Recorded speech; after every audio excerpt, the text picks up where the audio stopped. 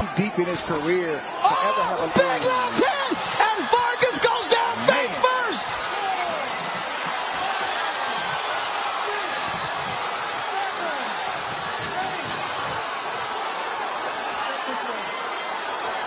He gets up, and let's see what happens in this next minute and a half. Zepeda has a lot of time, and Vargas may not. Here comes Chon Zepeda this type of fight. The fight of the year against Ivan Baranchyk.